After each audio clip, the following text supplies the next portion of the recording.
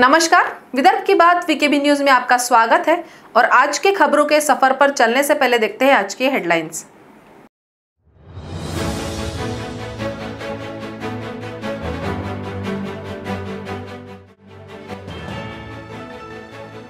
मुंबई में हलचल मचाकर आगे बढ़ गया विनाशकारी ताउते तूफ़ान।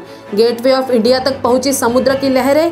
तेज हवाओं के साथ मुंबई में हुई भारी बारिश।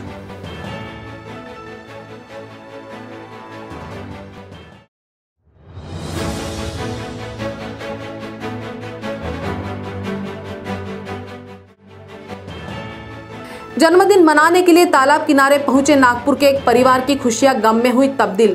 पिता और मासूम पुत्र की तालाब में डूबने से हुई मृत्यु।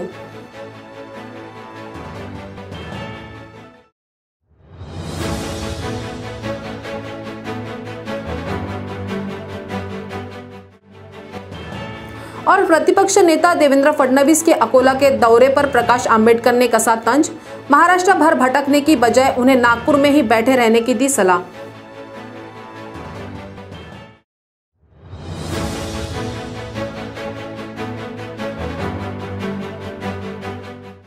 और अब खबरें विस्तार से।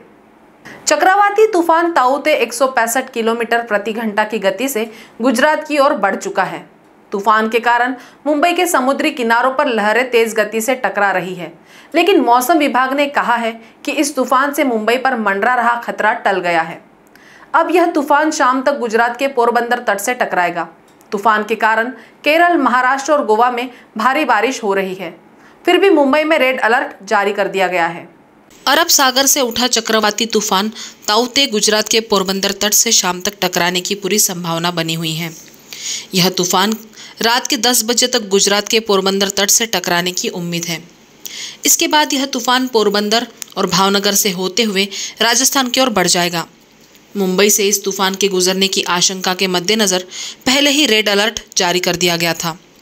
यह तूफ़ान पालघर और वापी के समानांतर करीब 150 किलोमीटर दूरी से गुजर रहा है। तूफ़ान का असर कल रात से ही मुंबई में दिखना शुरू हो चुका था। मुंबई में तड़के सुबह से हवाओं के साथ तेज बारिश हुई। मुंबई के गेटवे ऑफ़ इंडिया के आसपास उठती समुद्री लहरें तूफ़ान की भीषणता का एहसास करा रही थी। महाराष्ट्र के रत्नागिरी व मांडवी के बीच तावते के कारण तेज हवाओं के कारण कई स्थानों पर पेड़ गिरे और तेज बारिश हुई है। ताउते तूफ़ान से मुंबई के समुद्री तटों पर मंडरा रहे खतरे के मद्देनजर मुंबई में रेड अलर्ट जारी कर दिया गया था। महापालिका ने इसकी स्थिति पर नियंत्रण रखने के लिए डिजास्टर कंट्रोल रूम बनाया है। मुंबई की महापौर किशोरी पेडनेकर ने बीएमसी के डिजास्टर कंट्रोल रूम जाकर तैयारियों का जायजा भी लिया।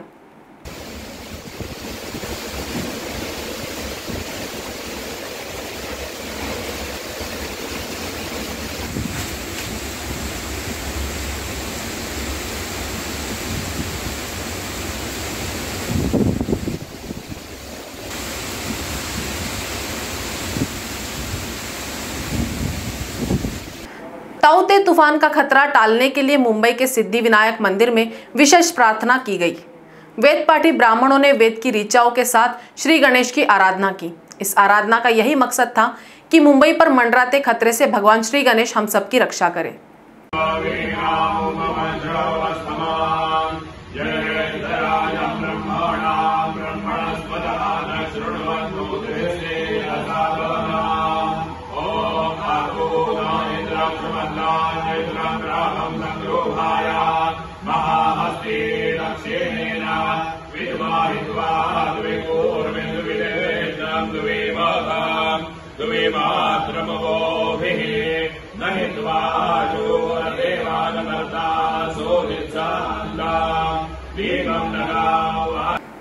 यशोधरा नगर थाना अंतर्गत टीपू सुल्तान चौक निवासी एक परिवार एक पुत्र का जन्मदिन मनाने के लिए शहर से दूर हिंगना तहसील के मोहगांव झिल्पी के तालाब के किनारे पहुँचा। लेकिन इस अभागे परिवार को क्या पता था कि यह जन्मदिन परिवार के दो सदस्यों का मृत्यु दिवस बन जाएगा। सोमवार के दोपहर को साढ़े ग्यारह बजे के आसपास टीपू सुल्तान चौक निवासी अब्दुल आसिफ, अब्दुल गनी पत्नी व पुत्रों के साथ दोपहिया पर सवार होकर जन्मदिन मनाने के लिए हिंगना तहसील में मोहगांव झिल्पी तालाब किनारे पहुँचे थे। यहीं पर कुदरती खूबसूरती के बीच पिकनिक मनाने की उनकी योजना थी। जन्मदिन की खुशियाँ मनाने के बाद अब्दुल आसिफ व उनका 12 वर्षीय पुत्र अब्दुल चहबिल तालाब के पानी में नहाने के लिए उतरे। लेकिन तालाब में मौजूद दलदल में फंस जाने के कारण वे तालाब के गहरे पानी में डूबते चले गए। यह दृश्य देख उनकी पत्नी उन्हें बचाने तालाब में उतरी, लेकिन उनका पैर भी कीचड़ में फंस चुका था। तालाब किनारे मौजूद कुछ लोग उन्हें मुसीबत में देख दौड़े। महिला को तो ग्रामीणों ने बचा लिया, लेकिन पिता पुत्रों को वे नहीं बचा सके। आखिरकार गोताखोरों की मदद से उनके शव बाहर निकाले गए। महाराष्ट्र को इस कोरोना काल में जिस सामग्री की ज़रूरत थी, मैंने केंद्र सरकार से मांगी और वह मिली। प्रधानमंत्री ने महाराष्ट्र को सर्वाधिक रेमडेसिविर दिए, सर्वाधिक ऑक्सीजन दी, सर्वाधिक वेंटिलेटर दिए, लेकिन कुछ लोगों को केवल हाय तौबा मचाने की आदत होती है। मैं ऐसे लोगों को उत्तर नहीं देता।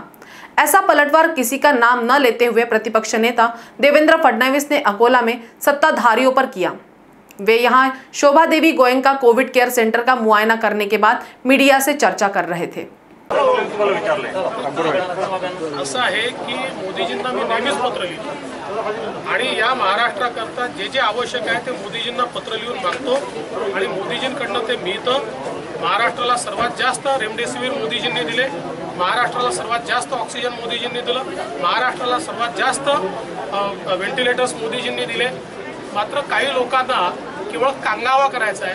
कांगावाखोरांना मी उत्तर देतो वक्त तो चला है एक ब्रेक का. मिलते हैं एक छोटे से ब्रेक के बाद.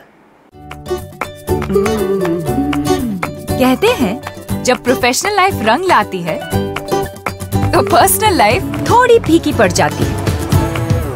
गलत, बस बैलेंस ज़रूरी है। जैसे एक्स्ट्रा लाल और एक्स्ट्रा तेज एक ही चिली पाउडर में हो सकते हैं। नेचुरल रेड और तीखेपन का परफेक्ट बैलेंस है। सुरुचि तेजा लाल चिली पाउडर खाने में हो रुचि तो घर लाइए सुरुचि। ब्रेक के बाद आपका स्वागत है। प्रकाश आंबेडकर ने देवेंद्र फडणवीस के महाराष्ट्र में हो रहे दौरे पर चुटकी लेते हुए कहा कि वे राज्य भर में भटकंती करने के बजाय नागपुर में ही बैठे और दो चार कोविड सेंटर शुरू कर नागरिकों को सुविधा उपलब्ध कराए। ते मासवणे त्यांनी पत्र पत्र काढण्यापेक्षा देवेंद्र फडणवीसनी महाराष्ट्रभर वन वन वन वन फिरण्यापेक्षा नागपूरमध्येच बसावं. आणि दोन चार कोविड सेंटर काढून त्यांनी असं ती लोकांना सोय द्यावी अशी माझी त्यांना विनंती आहे.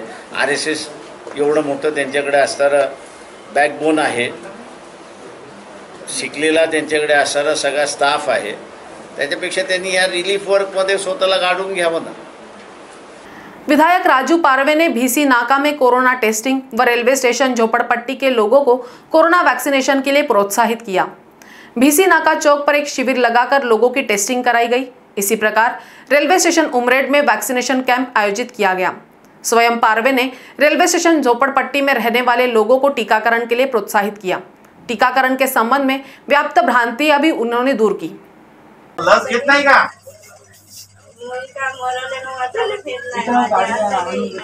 आता एक काम कर. काय होते? तू मलाही कुठे जात नाही. पण बाहेरचे लोक तुझ्या घरी येतील. आणि घरचे पोरं कुठे तू एकटीच राहते? तू लस घेऊन टाक ना आज चालते थांबून जा थांबून जा.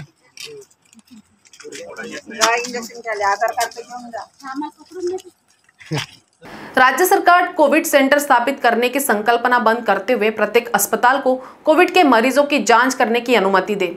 साथ ही जो अस्पताल ऐसा नहीं करेंगे, उनका लाइसेंस रद्द कर देना चाहिए। ऐसी सलाह वंचित बहुजन आघाड़ी के प्रमुख प्रकाश आंबेडकर ने राज्य सरकार को दी है। महाराष्ट्र शासनाला आमच्या असताना विनंती आता की हे जे स्पेसिफिक कोविड सेंटर म्हणून, हॉस्पिटल म्हणून आपण उभं करतोय, ती संकल्पना पूर्णपणे बंद करावी. आणि एव्हरी हॉस्पिटल आणि जो डॉक्टर आहे त्याला कोविड पेशंट ट्रीट करण्याची परमिशन त्या ठिकाणी दिली पाहिजे. नव्हे ती ती सक्ती केली पाहिजे. हा आग्रह माझा राहणार आहे. अकोला जिले के अकोट शहर में आठ दिनों से बैंक कामकाज बंद होने के बाद सोमवार को जैसे ही दी अकोला जिला सहकारी बैंक खुली वहां कोरोना काल में भी जमकर जनसागर उमड़ पड़ा। इस दौरान सोशल डिस्टेंसिंग की धज्जियां भी उड़ती नजर आई। सुबह के समय पीएम किसान सम्मान योजना की राशि निकालने तथा फ़सल कर्ज के लिए बड़ी संख्या में किसानों की भीड़ बैंक पे टूट पड़ी। यह माजरा पुलिस भी मुख दर्शक बनकर देखती रही। हालाँकि बैंक ने प्रत्येक किसान को टोकन देकर बुलवाया था, लेकिन टोकन पद्धति की भी धज्जियाँ उड़ाकर लोगों ने सारे नियमों को तिलांजलि दे दी।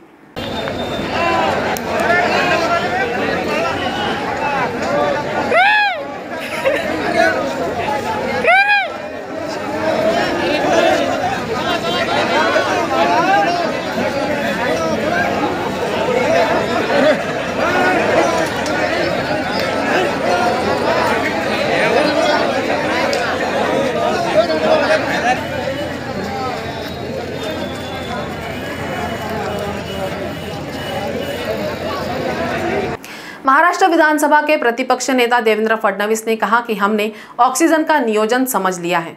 अब आगामी समय में म्यूकर माइकोसिस दवा का भी कठोर नियोजन होना आवश्यक है। इसके लिए मैंने दवा तैयार करने वाली कंपनियों के साथ चर्चा की।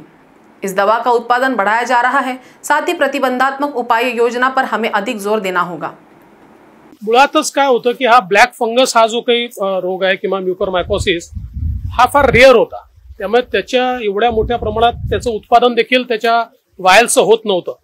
सुरुवातीच्या काळात तो आपल्या राज्यात आला, त्यामुळे आपण इकडून तिकडून शकत होतो. आता अनेक राज्यांमध्ये हा रोग त्या